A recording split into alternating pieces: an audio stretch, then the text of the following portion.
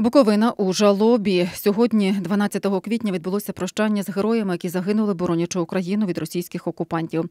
Старшому сержанту Анатолію Пережулу останню шану віддали в селі Шебутинці. Прощання з солдатом Геннадієм Горянчуком відбулося в селі Верхня Слобода. Солдата Артура Кричуняка в останню дорогу провели в селі Старі Бросківці.